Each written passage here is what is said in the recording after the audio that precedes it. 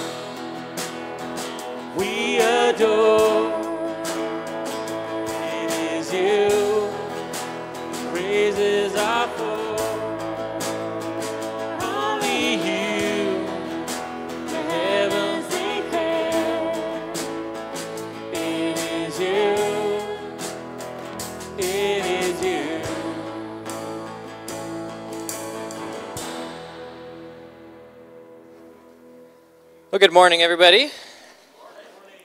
We're sneaking in some last bit of summer. Um, this yesterday and today we had the lake day for the youth yesterday, and uh, it was actually kind of hot. So Kevin did a good job. I don't know if Kevin's in here. Kevin Kloppenstein did a good job throwing a bunch of kids off tubes in the water. So that's the most. There you are. Thanks, Kevin. Um, yeah, just welcome to church today. My name's Evan. I'm one of the pastors here. Um, and I've got just a couple announcements for you, and we'll get going. Uh, first, there's a Discover Your Church class coming up on September 17th. Uh, this is an opportunity for you to come and hear all the nitty gritty details about our church and the denomination that we're a part of. Uh, we talk a little bit about our history, um, about governance, and super exciting stuff like that, um, and about our denomination, and um, also about our future, where we're planning to go as a church. So if you're interested in that, um, Samara's out in the foyer. She's got some booklets and stuff like that. You can talk to her. It's 4 to 6.30 on September 6th, uh, 17th here at the church um, in the multipurpose room. And most importantly, right after service, we're having our fall kickoff barbecue. Yeah. um, we're going to be going right downstairs. Uh, we're going to have plenty of food. Hopefully, you remembered your last name and remembered what you were supposed to bring. Um, we brought some cookies, so if you see some snickerdoodle cookies out there, thank Julie. I didn't have anything to do with those. but that's right after the service. Uh, please join us for that. Uh, and speaking of kicking off the fall, we're also getting ready to kick off uh, a new sermon series on the Sermon on the Mount. So we're going to be launching into that. And one thing that always comes to mind when I think of the Sermon on the Mount um, is the topic of prayer. It's one of the big sections within the Sermon on the Mount uh, portion of the Gospels. And when I was thinking about that earlier, a few days ago, um, I was reminded of, uh, of a lecture that I was listening to recently from, from Lee Strobel.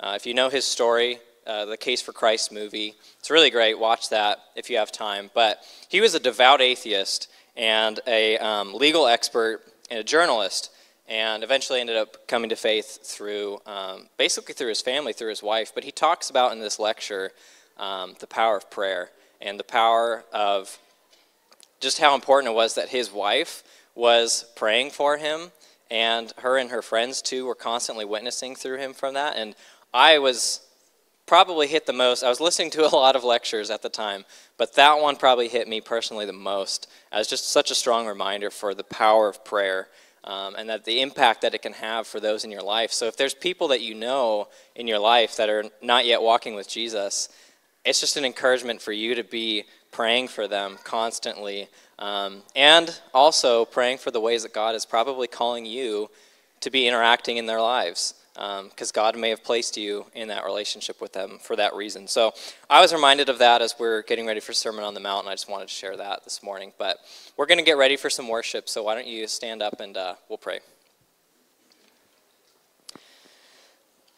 Lord, we thank you for this beautiful day, this uh, little bit of late summer that we're getting as we're heading into the school year and into fall, God. Um, we just, I want to thank you so much just for your word, for the opportunity that we have to be able to study through the Bible. And um, I would ask that you just have your hand over us um, as we move into this time of, or this season of um, studying through the Sermon on the Mount. God, would you open up our hearts to the ways that we are um, expected to think so much differently um, and the ways that Jesus is teaching through this sermon series.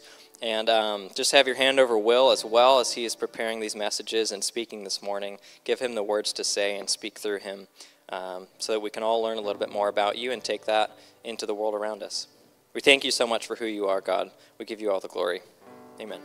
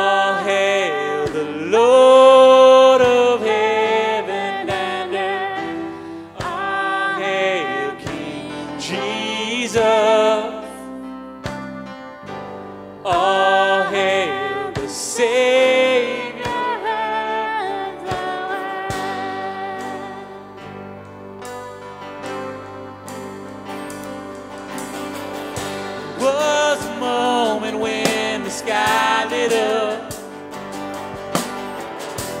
flash of light breaking through. All was lost across eternity. King of life was on the move. For in dark, cold tomb,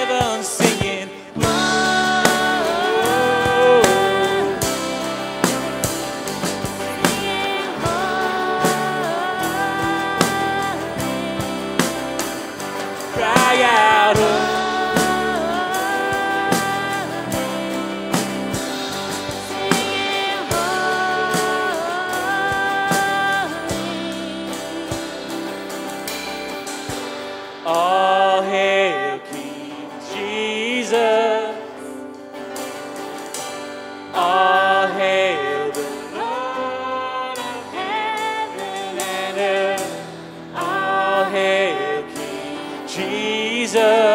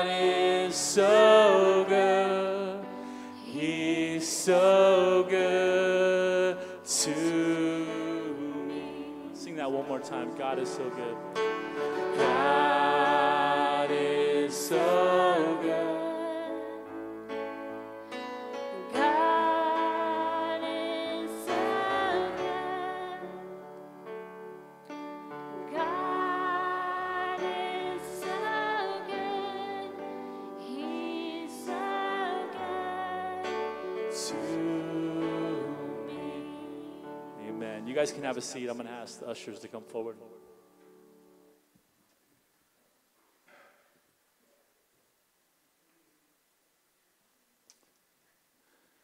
Heavenly Father, we just uh, come before you this morning, Lord, and uh, we just uh, humbly take this opportunity to uh, freely um, give back a small portion of what you've given to us, God. And uh, we know that um, giving is an act of service, uh, you don't need our money to further your kingdom, God, but you will use our gifts and tithes and offerings to further your kingdom, God. And uh, we just thank you for that. And we pray that this church, and I know it's the heart of our pastor and of our staff, that this church would be a light, a beacon on the hill, Lord, in the world that we're living in here in Langley and on Whidbey Island, God. And I just pray that you would continue to use us, use this church and this congregation to not only just, you know, spread the gospel and show Jesus' love here on the South End, Lord, um, but throughout our community and our country and the world, God, that you would just use us. And uh, that is our heart this morning, God. And we just thank you. In Jesus' name.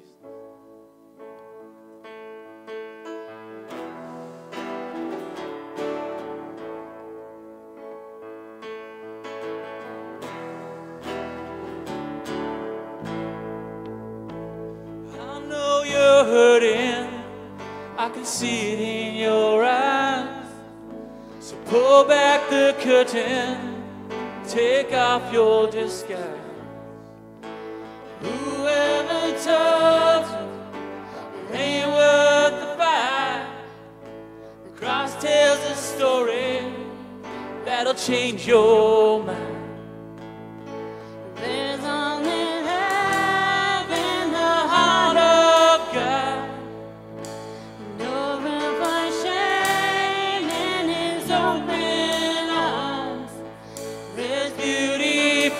Ashes, so come as you are.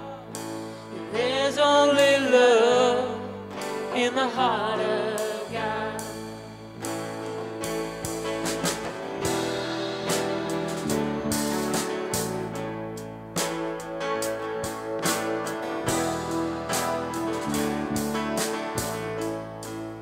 Come, prodigal children, it's never too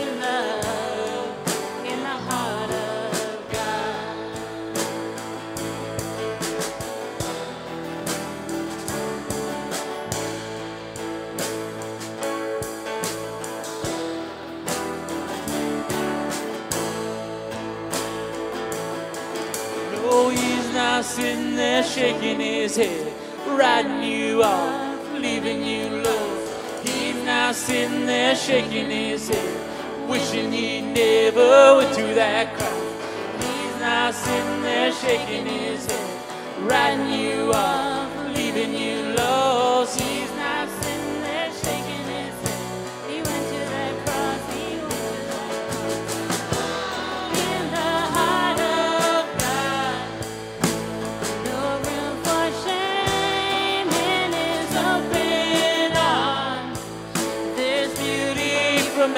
ashes.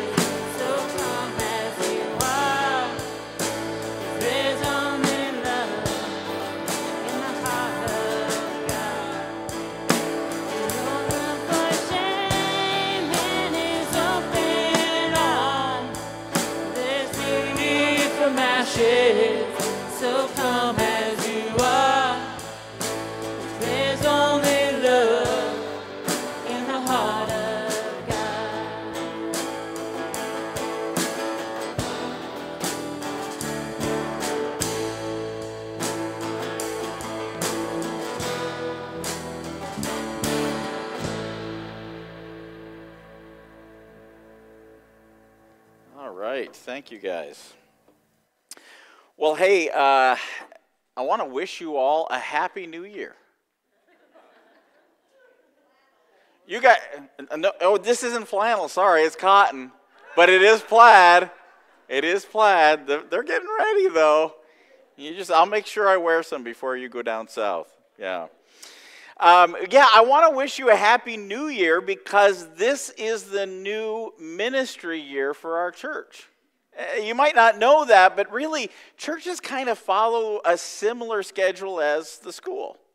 Because, you know, in the summer, everybody kind of does something different and things change a little bit, and then we kind of kick back into gear for the fall. That's why today we're having a kickoff. And so I want to uh, just welcome you. I mean, I, I'll tell you, I'm kind of, I know that I'm going to have a problem preaching today because as we go further, there's going to be more and more smells that are going to begin to waft up here. And I've got to be careful because I want to make sure that when you start smelling hamburgers cooking and stuff, that you don't like have a Pavlov kind of, you know, um, scenario and that you don't end up like drowning in your own drool. So I, I, I'm going to keep an eye on you and make sure that you're all okay, and, and I'll try to, you know, do my time according to this. But hey, I want to let you know if you didn't bring something today, you are still welcome to come. I don't want to give you an idea if you didn't bring something, you can't come. No, we want everybody to come. Okay, so if you're here, join us downstairs afterwards. All right, so here's what I'm going to do this morning. And I just want you to know it's going to be a little bit different because I changed everything up yesterday. Uh, And this doesn't normally happen, um, but as I was working on some things, I was like, you know what? I don't. I think let's put that. Let's do something different today. So you won't have any slides. You're going to have to follow along if you want to follow along, along in the scripture. You're going to have to follow along the old school way. That means a Bible. Uh, I think there's some in your pews. Uh, you can. Ha- they're on your phone. Some of you may have brought them. So we're kind of going old school. There's also no slides. Like you, anything I highlight, you, you won't even know when I've highlighted it because it'll sound like everything else I say. My wife says I kind of talk with a certain level of intensity. So anyway, uh, so it's going to be a little bit different. I want to prepare you for that. But this morning, what I want to do is I want to share with you a story from the Gospel of Luke. And, and, and before I get there, I want to sort of set the stage for you. We're in the early part of Jesus' earthly ministry, uh, but word has begun to get out about the things that Jesus is doing, the teaching that he's giving, but also the, the amazing miracles that are happening. And people are beginning to talk and they're saying, there is something unique about this guy. He's not like just any other teacher or any other prophet. There is something unique about him. And so word begins to spread throughout the country. And now keep in mind that for the Jewish people, there was always this sense of having kind of one eye open, looking for this promised Messiah that the prophecies had prophesied about. And so they're, they're, they're waiting for this, they're looking for this. And so, for sure, the things that are happening and the things that are being said about Jesus and, and the way he teaches and the miracles he does is beginning to stir some conversations around that. And the excitement is swelling. There's, pe- there's stories about people being healed, and, and, and all of this background is coming together. And so it'll make more sense to us as we come to this story found in Luke chapter 5. Found in Luke chapter 5. If you have your Bibles, you can turn there. If not, just listen because it's not on the screen. Uh, Luke 5, and we're going to be looking at verses 17 through 26. So if you get to Luke 5, go to 17 and you can follow along. This is what it says. One day, Jesus was teaching, and Pharisees and teachers of the law were sitting there. They had come from every village of Galilee and from Judea and Jerusalem. And the power of the Lord was with Jesus to heal the sick. Some men, men came carrying a paralyzed man on a mat, and they tried to take him into the house to lay him before Jesus. And when they could not find a way to do this because of the crowd, they went up to the roof and lowered him down on his mat through the tiles into the middle of the crowd, right in front of Jesus. When Jesus saw their faith, he said, Friend, your sins are forgiven. And the Pharisees and the teachers of the law began thinking to themselves, Who is this fellow who speaks blasphemy? Who can forgive sins but God alone? Jesus knew what they were thinking and he asked, Why are you thinking these things in your heart? Isn't that, I mean, just think about it. It, it doesn't say that Jesus heard them say this. Jesus knew what they were thinking and he asked this. You know, talk about startling. Oh, shoot, you can read my mind or what I'm saying. Which is easier to say, your sins are forgiven, or to say, get up and walk?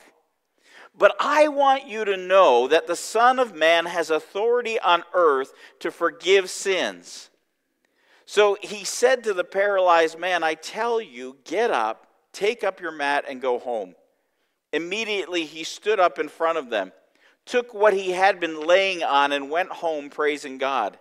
And everyone was amazed and gave praise to God.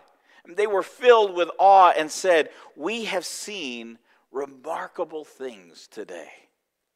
Father, thank you for your word. Thank you for this, this great illustration of what you were doing and, and how you were breaking in in a whole new way in human history. Lord, as we spend time in, in reliving this story, may you help us to understand and may you help us to apply it to our lives, we pray. In your name, amen. Now, without a doubt, I consider myself a pretty loyal friend. Uh, maybe not as loyal as I could be, but I, I'm pretty loyal. I remember even as a kid, if I had a friend that was in trouble, I would fight for my friend. Like, literally, sometimes get into a brawl with somebody much larger than me if I thought my friend was in trouble. It wasn't the smartest thing in the world, but there was kind of this drive to be loyal and protective of, of those I cared about. But I got to tell you, I'm impressed by the loyalty I see in this story. Honestly, I don't know if I could have exhibited the kind of loyalty that these guys did for their friend. Imagine the trouble that these men went through just to carry their friend to Jesus. I mean, we, we don't know how far they came, but whatever they did, they were carrying somebody the whole way. And, and, and it seems to be that in this situation, maybe it was even their initiative to say, hey, do you know about this guy, Jesus? We want to take you to him. He's, he's not too far away. We're going to uh, we're going to carry you there. And so they, they come in and they're, you know, kind of hoping for a fairly easy situation where they can get through the crowd and they can bring this guy up and they can lay him down in front of Jesus. But when they go there, that's not the case. And instead, these guys are fighting through the crowds, and, they couldn't get to him. But it doesn't stop them. Eh, eh, they figure out another way. They take him to the roof. They pull back the tiles and they lower him down. What a scene this must have been. I mean, I- you got to wonder, like, you know, have you ever had something going on in your house? Maybe, you know, a, a grandkid or maybe a kid upstairs jumping and you start seeing some of the dust kind of coming down from your ceiling? Now imagine if guys were taking off tiles. Like, that must have been just, you know, I can imagine that Jesus is probably talking, he's probably teaching, and people are like, what in the world is going on up there? I mean, all of this would have been going on.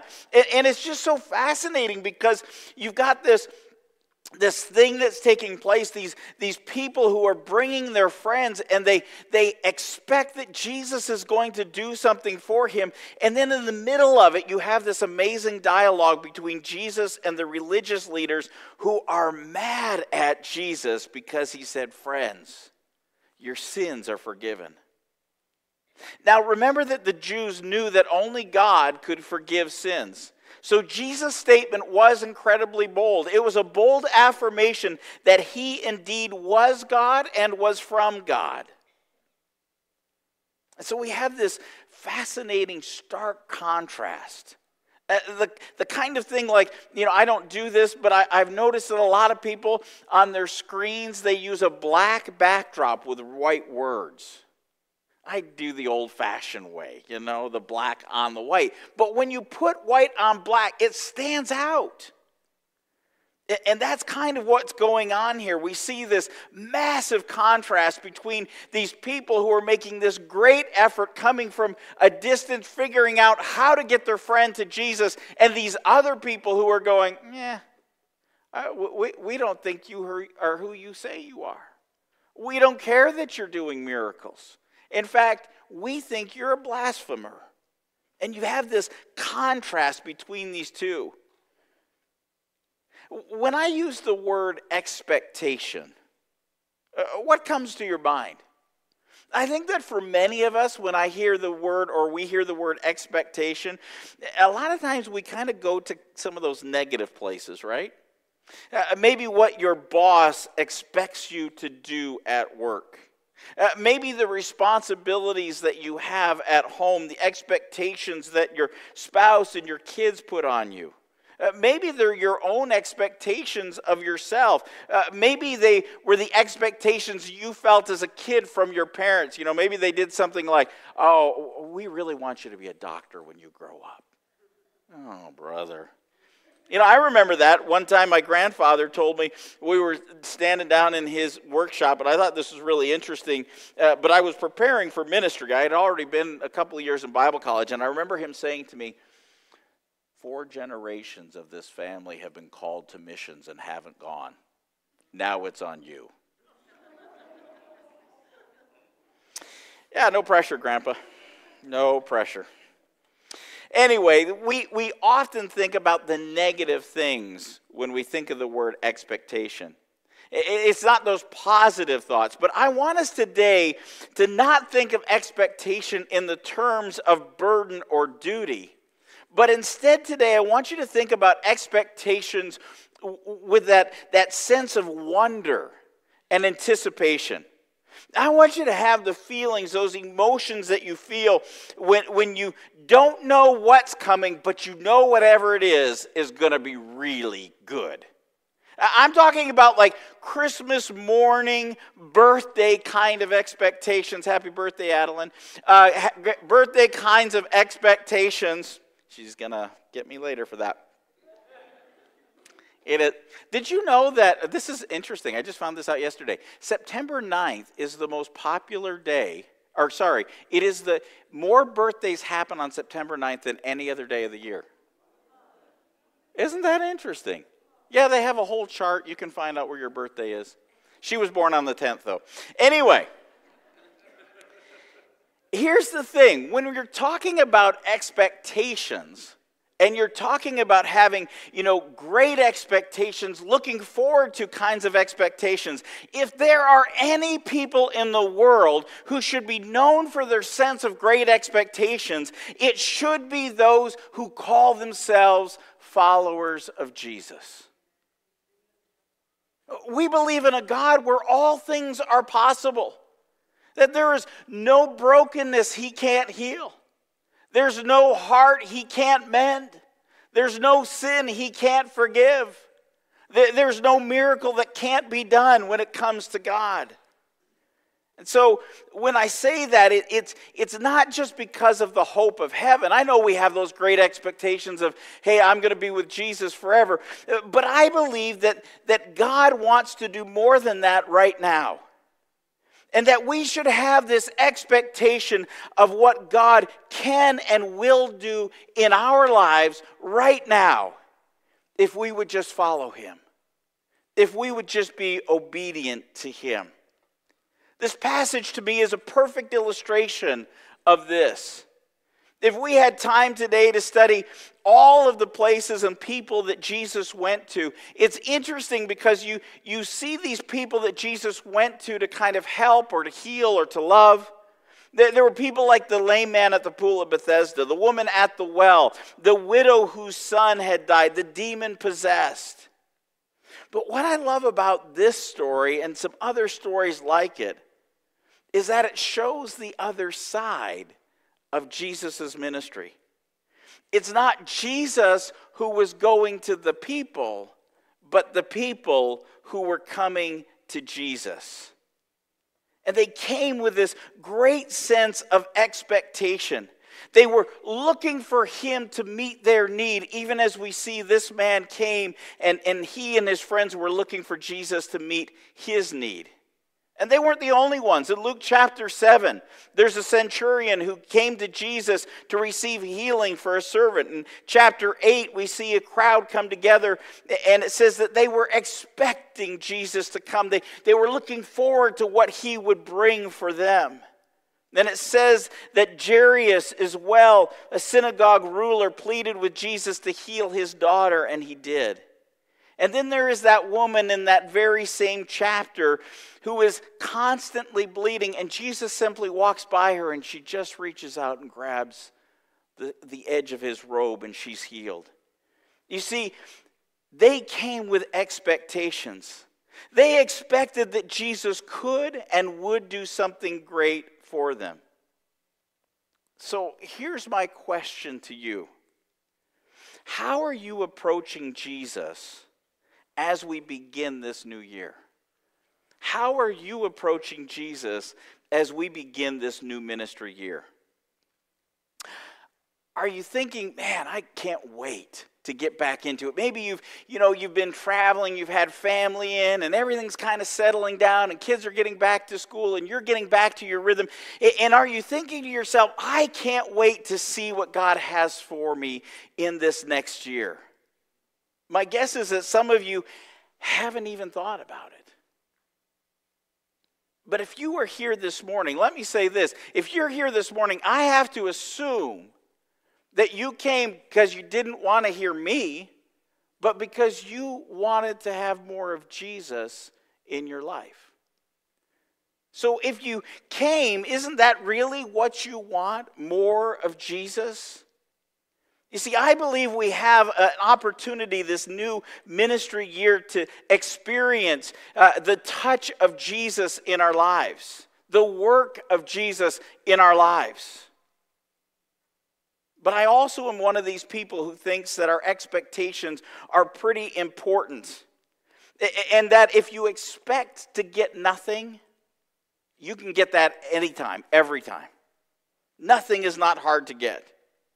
But I think oftentimes we find that our experiences, our expectations uh, um, have great influence on, our attitudes. And often our attitudes help to determine whether we receive God's blessing for us or not. A lousy attitude, a defeatist attitude, can really suck the life and hope and joy out of everything. And it's really how we desire to see things or how we choose to see things. Because here's the thing we, we've talked about this numerous times, the scripture talks about it many times, that Jesus doesn't always work in our lives as we think he will. But he will work in our lives if we'll open ourselves up to him. And anything Jesus does in our lives, because we know He is sovereign and we, because he, we know that He works all things for good in the lives of those who love Him and are called according to His purposes, we can know that whatever we're facing, whatever He's bringing into our lives as we're following and being obedient to Him, is part of His plan for our good.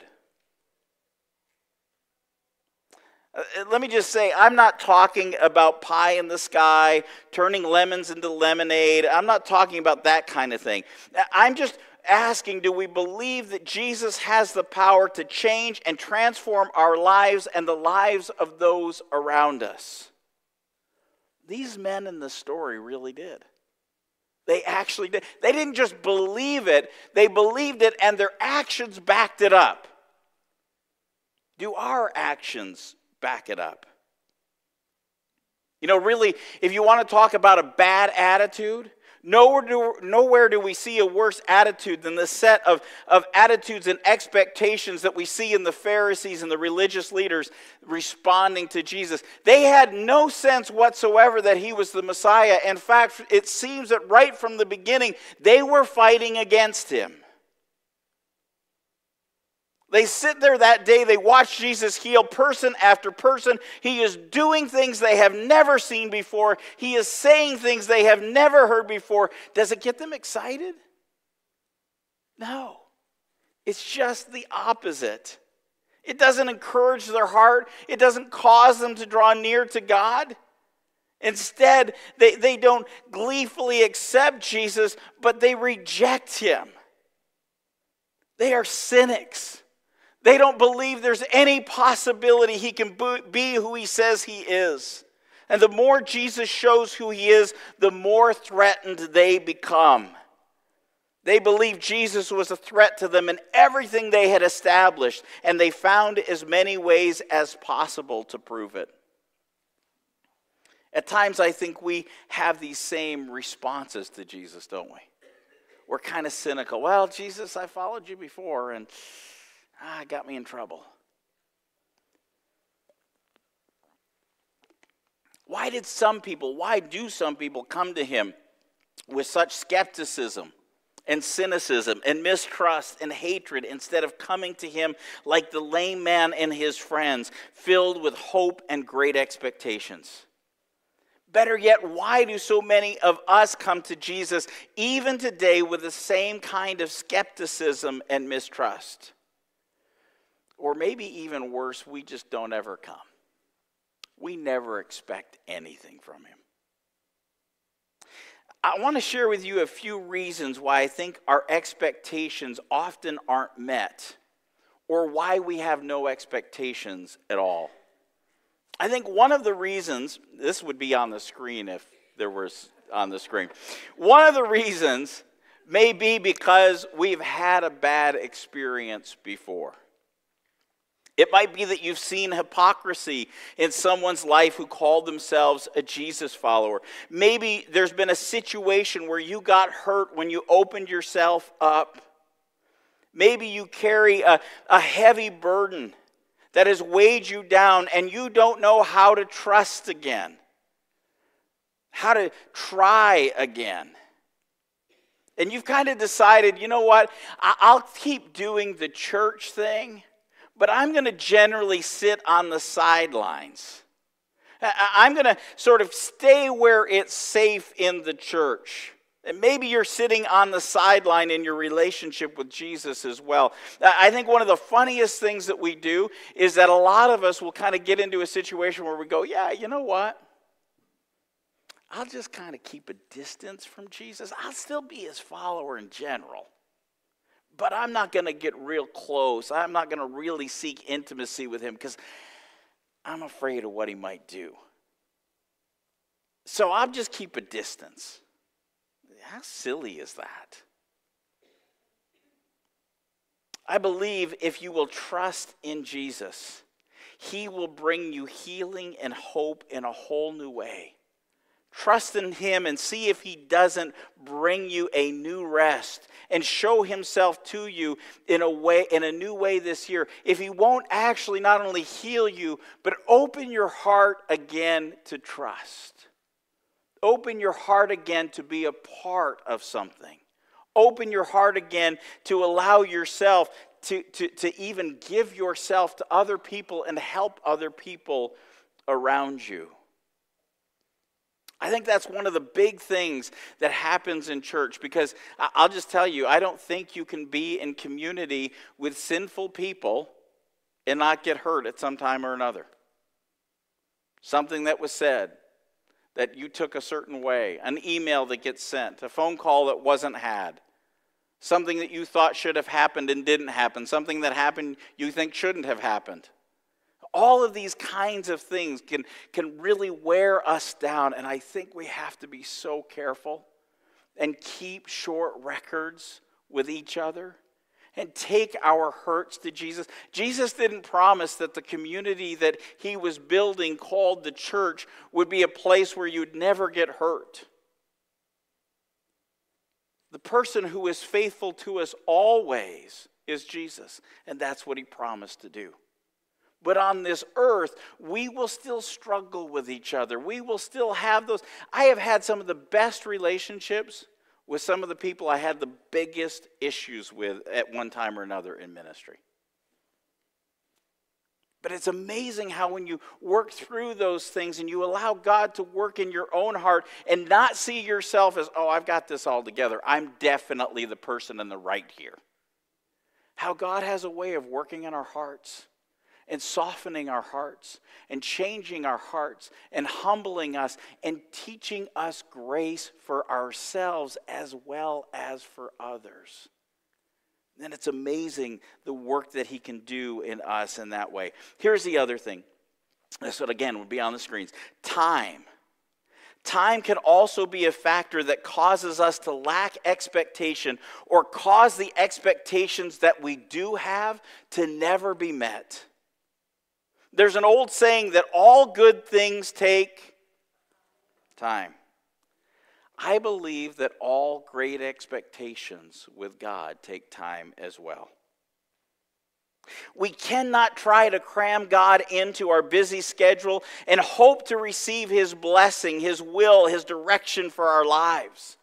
And some of us, you know, this is supposed to be that time of year, kind of like January, but some people do it in September, where they sit down and go, okay, this is the schedule we're going to have for the fall. This is the schedule we're going to have for this next year.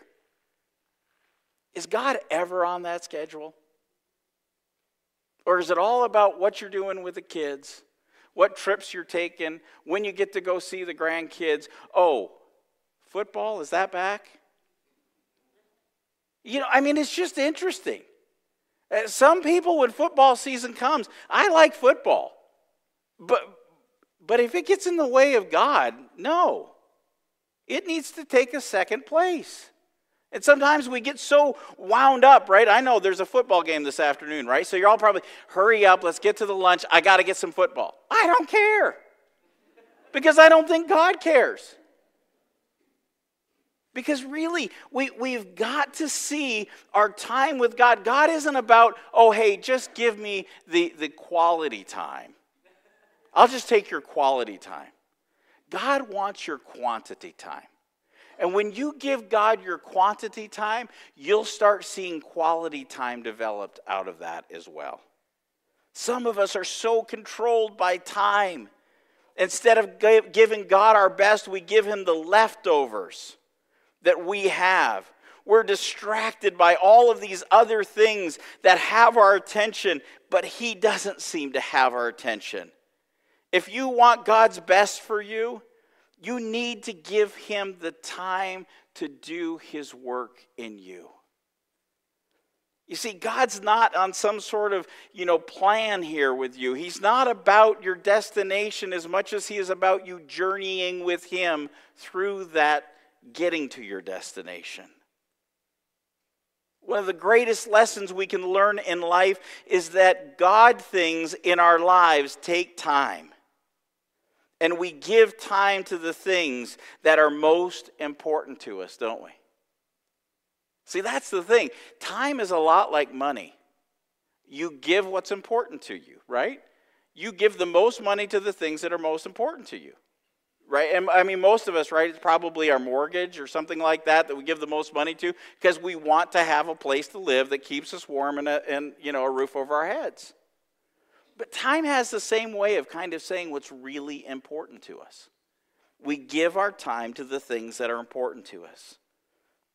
So we must be thinking about that and, and give ourselves the time to spend with God, the time to be with God, the time for God to work in our lives. It's really interesting that as we've been walking through life to life and some of those things, that one of the things that has, has really been kind of profound, I think, in a lot of people's lives is that relationships take time.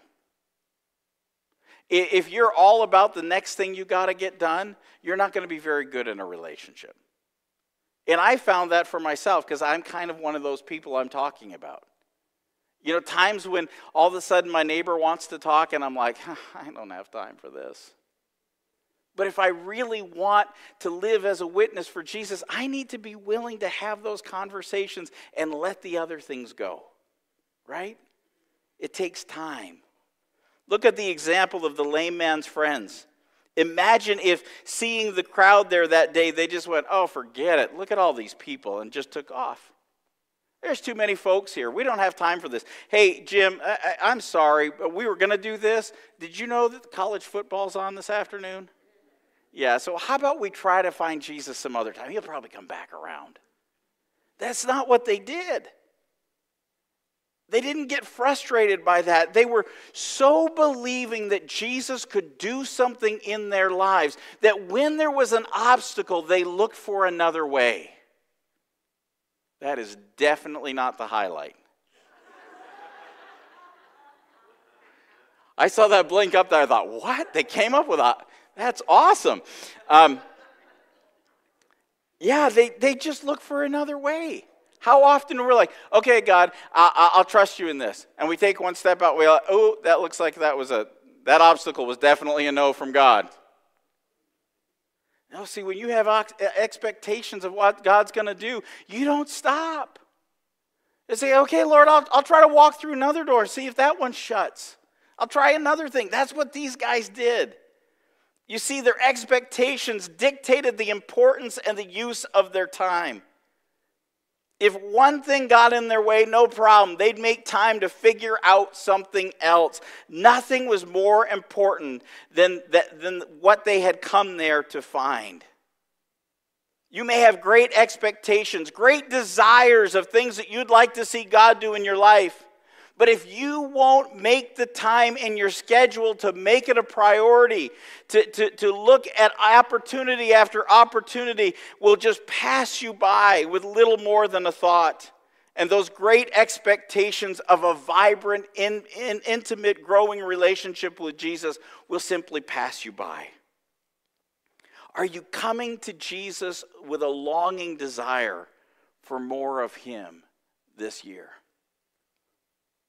The last reason for not meeting our expectation, and there's far more than this, but uh, these are the three I wanted to focus on.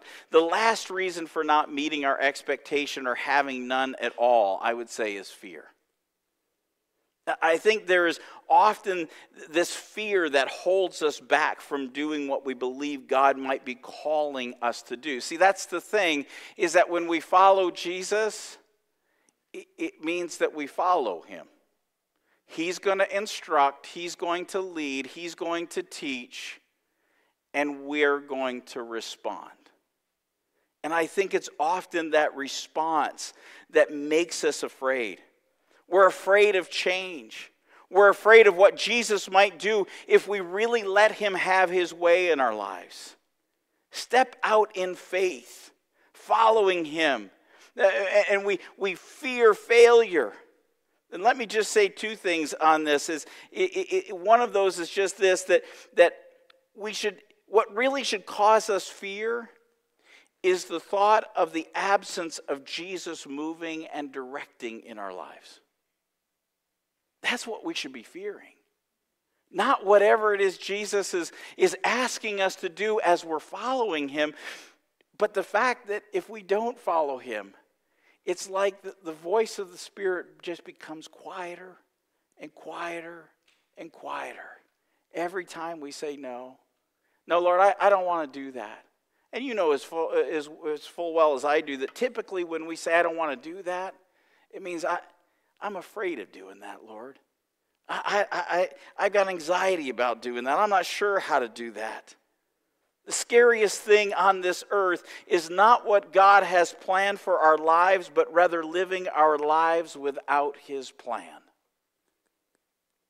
The scariest thing on earth is not what God has planned for our lives, but rather living our lives without His plan.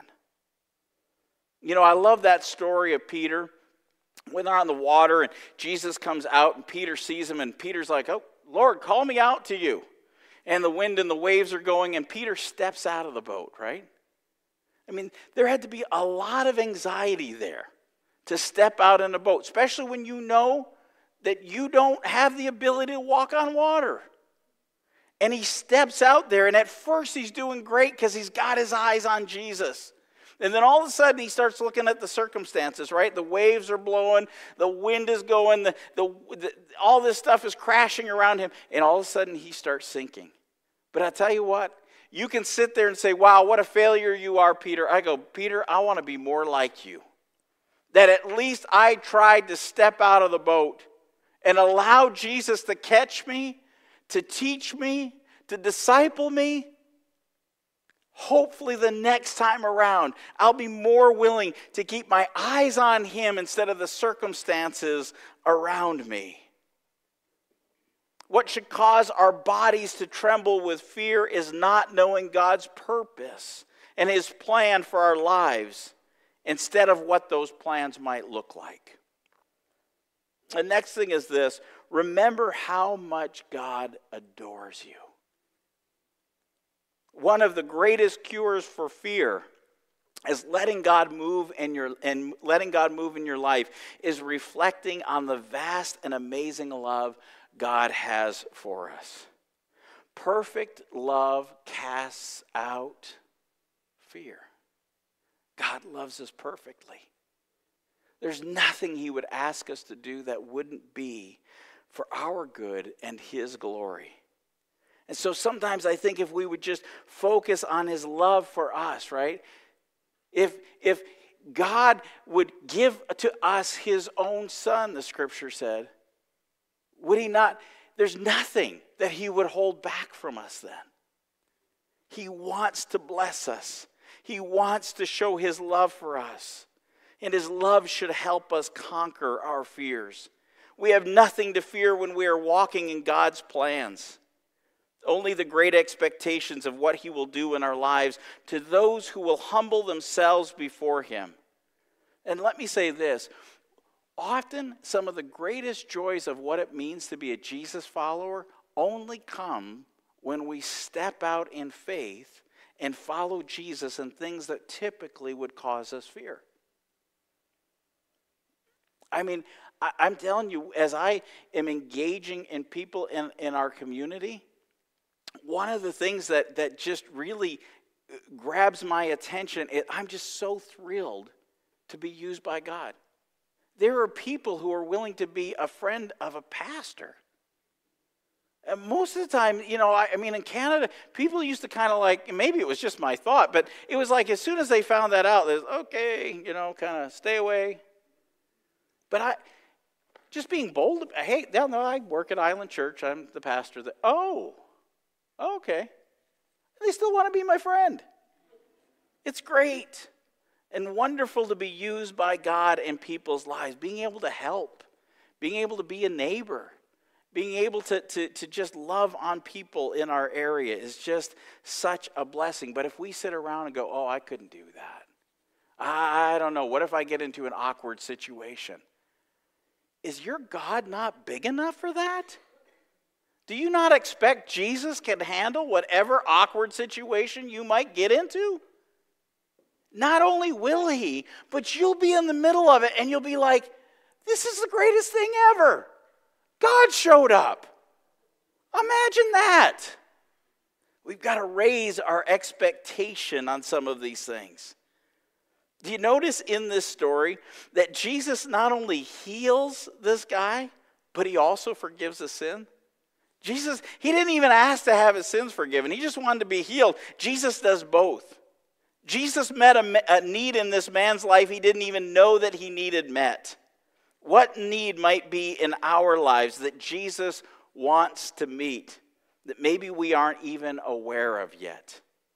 Will you seek him and make him your top priority this year? And what would that look like for you? How would your schedule potentially change? What would you say yes to that right now, nah, not, don't think I'll be a part of that? I don't want any of you to miss out on all that Jesus has for you and for us as a church this year. There are things that God is doing among us and, and I don't even know them all, but I get to every now and again hear stories of things God is doing in your life. And I want all of us to be on these same journeys because I just think it's really where the joy of being a Jesus follower and being part of a church community is when we're all just seeking more and more of Jesus together and allowing Him to use us in the lives of those who are around us. There are opportunities that he is raising up, and I'm going to share a few of those with you. Uh, um, really, let me say this if you look in your bulletin, you're going to see all sorts of opportunities from everything from studies to, to opportunities for volunteering to all sorts of other things. They're in the bulletin. I'm going to encourage you just to look at that. But let me say this, and I've said this several times. We as Island Church don't just want to be a church that is in the community we want to be a church that is for our community here on South Whidbey. What I mean by that is we always want to be seeking new ways to offer help to those in the community, to offer hope to those in our community, to offer healing to those in our community. And this isn't something new. It's not like, oh, Pastor, you're saying something I've never heard before. No, you, this church has a history of ministries like that that have looked outwards to the community. Things like our soup kitchen, our wood ministry, the quilting ministry, these have all been a part of our desire as historically as a church to reach out to our community. But I think there's a whole lot more that God wants to and can do in us if we will just expectantly follow Him and see what He brings to bear. I want to just share with you a great example of this. A ministry that we have running and has been running now for a few years called Grief Share. After one of our members suffer, suffered the loss of her husband, she began to attend a ministry called Grief Share in Oak Harbor. And this was to help her through the pain and the ache uh, that she was facing in that grieving process of losing the closest person in this world to her. And after attending this, she came to me and she said, Hey, um, would you be willing to, to see if we could form a group to do that here at Island Church? And I, I yeah, let, sure, let's try it. Let's see what happens. Why not? Let's do it. I had heard of this same ministry, had had other friends of mine who'd been through this ministry who really found great blessing from it. And so I was like, yeah, let's, let's try to do that. She began a group about three years ago, and it hasn't stopped. It's running almost every semester, fall, spring. They have other uh, um, um, gatherings that they do around um, the holidays to support people who are going through the holidays as they're carrying grief. And this ministry is flourishing. Not because everybody's coming from other churches around the island, I would say at this point, the vast majority of those who are coming are people who are dealing with grief in our community who are not churched. Did you hear that? God began a ministry in us that is ministering now to our community. And there have been people who have begun to come to our church and sought out the claims of Jesus because of this ministry. And they already have begun again. They're, they're, they're planning and walking through this journey with people uh, um, that are going through the pain of grief. And this ministry is, is happening again, offering help and healing to those who are hurting. And not only is it running again this fall, they have more attenders this fall than they've ever had before. Praise God. Yeah, that's great. Woo! God, yeah. Okay, I'll get you there. Great expectations, guys. Come on.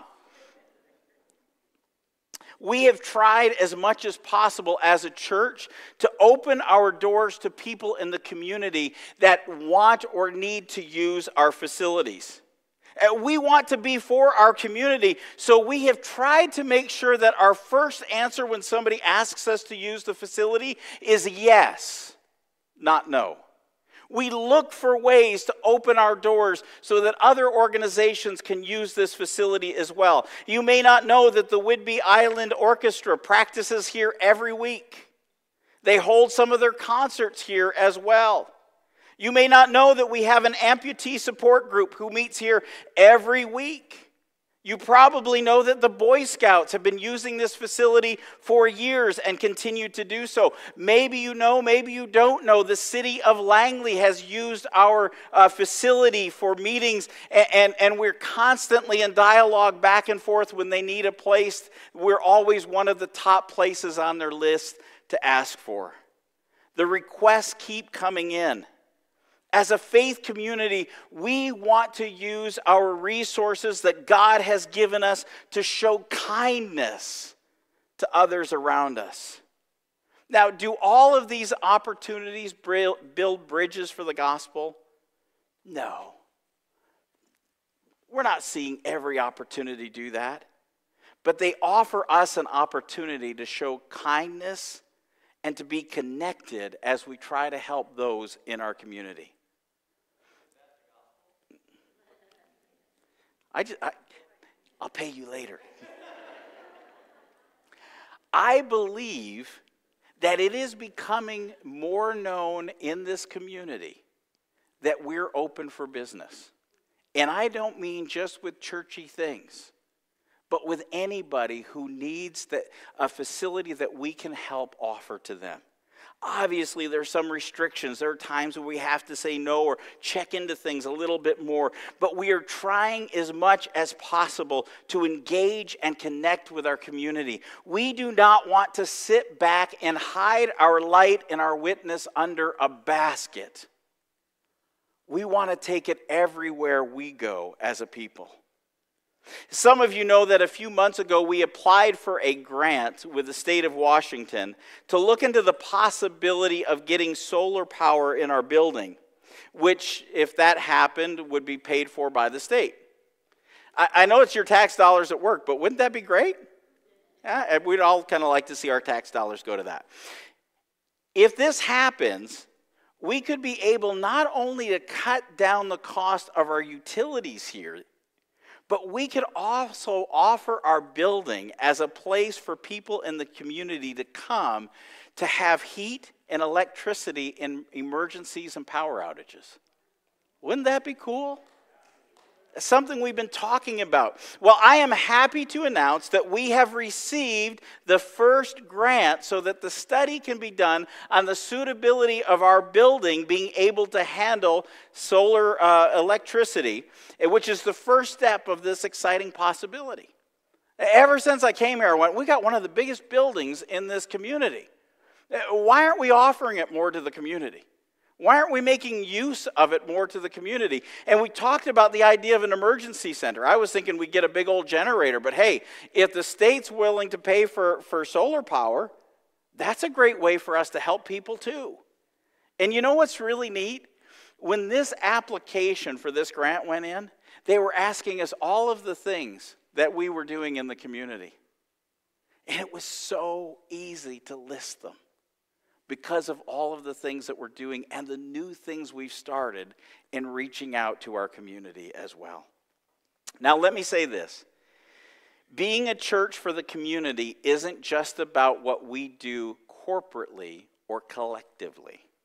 Just like every forest is made up of trees, every church is made up of individuals as well. Therefore, the question that must be asked of all of us is this Do you just live in this community, or are you for this community that you live in? Do you just live here, or are you for this community that you live in? How are you offering hope and help and healing to others in this community? I know that this is a place that can be really difficult for us to engage, and I want to say, probably especially if you spent your whole life in the church. Because I'm, I'm just going to call this out. The church has not been great at connecting with those outside of the church. We just, it's not a natural thing for us. And so I know this is difficult, but one of the things that we are doing as a leadership is working on a clear path to being discipled here at Island Church.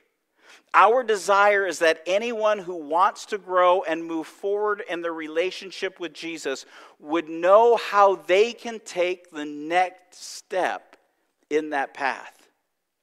The truth is that most people who come to Jesus get stuck just building up their own faith, and they never move forward and they never really take it anyplace. They just keep getting more and more and more teaching. We want to help change that. The Bible says in the book of James, as a body without the Spirit is dead, so faith without deeds is dead. See, the two go together, they dovetail together. And we want to live like that. Our desire as a leadership team and as a staff is to help clearly define a path of, our, of your discipleship journey that will help you move forward to become the disciple God wants you to be, and to become a disciple who makes disciples, who makes disciples, right? The whole purpose is reproduction. It's that we would take what we have learned, what Jesus has taught in our lives, and we would share that with someone else who could also become a disciple. And then they would take that and share it with someone else who would also become a disciple of Jesus.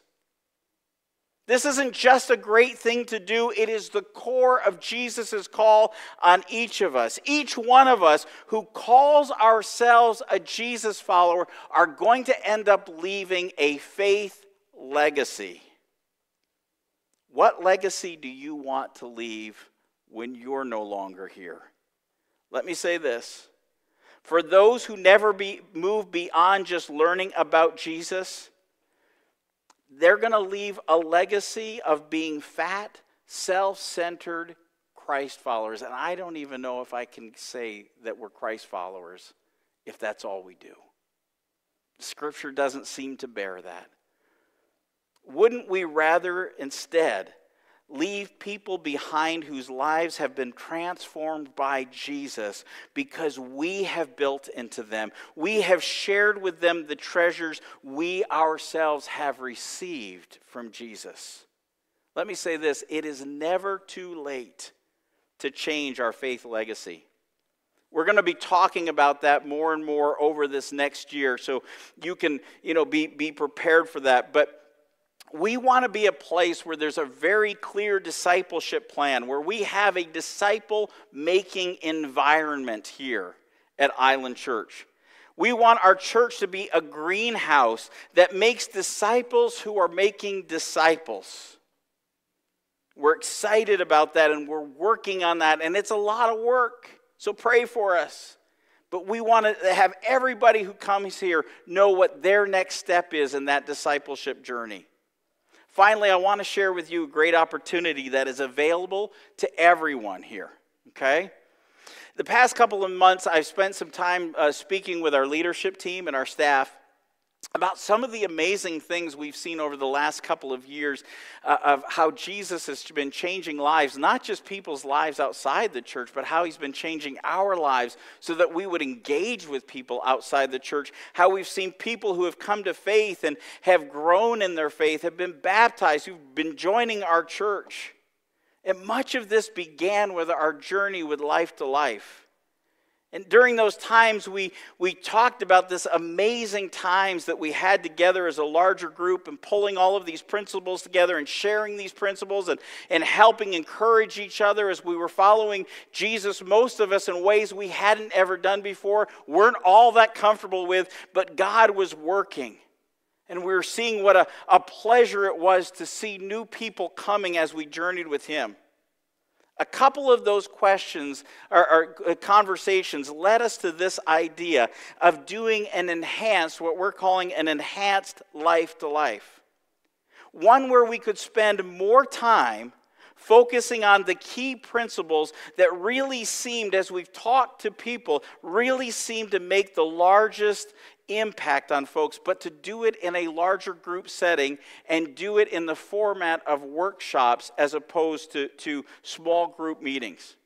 So we began to wonder okay, if we were to do this, you think somebody like Bruce Dick would be willing to come here and help us and walk through that with us and help us do something that's different than what Evangelism Shift was doing, but we think could bring some things together and kind of create this new hybrid? I'm happy to tell you that not only is Bruce willing to come and do this for us, but that two men in our church, when they found out about this, offered to pay all of Bruce's expenses so that there won't be any financial burden on our church or on you for participating. So on October 29th, Bruce is going to be coming here. He's going to be uh, sharing that morning in our service. And then after the service, we're going to have lunch for anybody who wants to come to find out more about this opportunity of this enhanced life to life. And if you want to learn more about it, see what the commitment level is and, and what's going to be asked of you, this is the place to come. This is the place to ask those questions.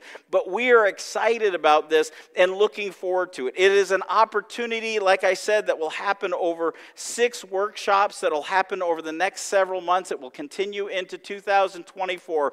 But it doesn't matter whether you've been through life to life before or whether you were part of the leadership team that went through that first year together as well or if you haven't done any of this. We want anybody who's interested to be a part of this new kind of inaugural ministry that we're asking Bruce to kind of help walk us through. Now, let me say this this is a one time opportunity. And you may have to pay postage and what is, I don't know. I, I know I feel I feel like I'm one of these guys at QVC, but it really is. We're only doing this once uh, we just, as the conversations happened and things began to fall in place, we're going, okay, God, we're not sure exactly all of this, but let's just have the conversations and see where it goes. And it's led us to being able to do this. And so we won't be doing this again. It's something we've never done before, but we would love to have you join us and see what God will do in your life, in my life, in our lives in this next year of ministry through it.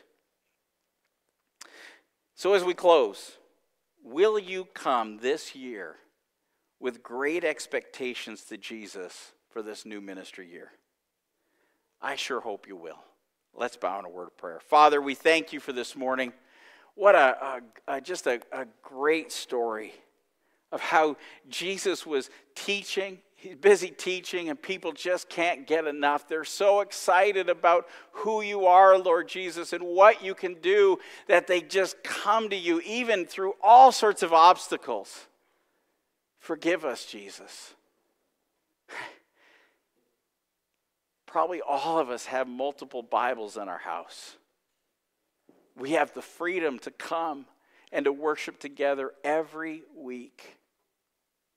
And yet, Lord, instead of knocking over obstacles, our obstacles are that we just don't want to. Lord, would you work on our apathy? Would you work on us and change us that we would have hearts that desire you more than anything else? And that would look forward with great expectations of what you want to do with us in this next year. And Lord, regardless of what that is, may we say, Yes, Lord. Lead us, guide us, change us as individuals and as a church. And Lord, may you use us powerfully in this community for your glory as you use us to live, to teach, and to be the gospel here on South Whidbey. Lord, may you be glorified. Father, I ask as well that you would just bless the food we're going to have soon. Lord, bless it to our use and our conversations. Lord, I pray maybe even around our tables today that one of the questions we will be is what kind of expectations do you have for this year? How are you hoping God will work in your life this year? Where do you want to see Jesus show up in your life this year? Lord, may you do great things in us as we humbly surrender to you. In your precious name we pray. Amen. Why don't you guys stand and let's just worship the Lord one more time Worthy of every song we could ever sing. Worthy of all the praise we could ever bring.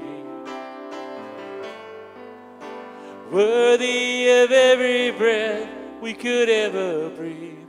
We live for you.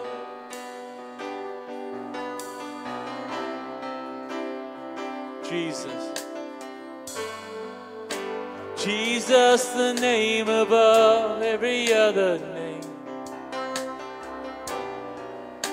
Jesus, the only one who could ever save. Worthy of every breath we could ever breathe. We live for you. Oh, we live for you. Sing holy. There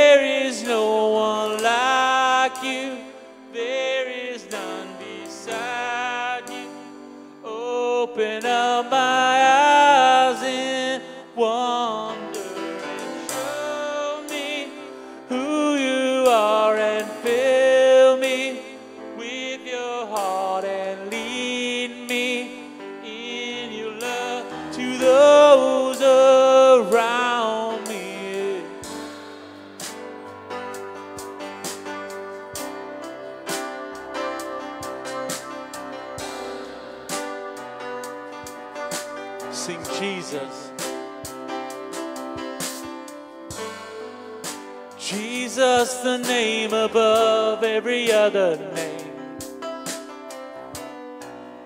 Jesus, the only one who could ever see.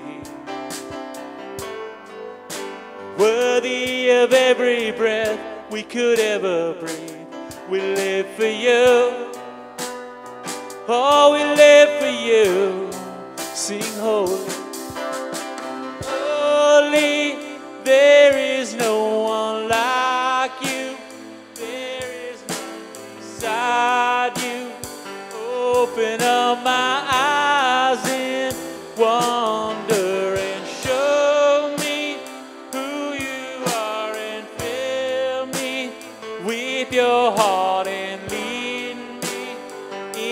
Your love to those around.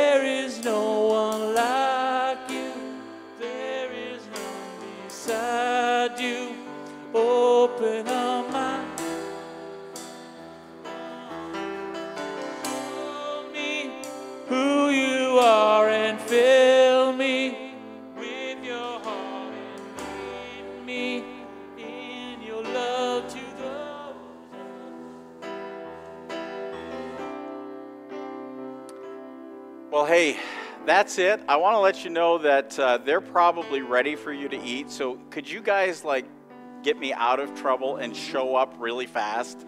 If you could just all like run out there downstairs, that would be great. Uh, we hope you'll stay for lunch. Thank you for being here. Hope to see you next week. God bless.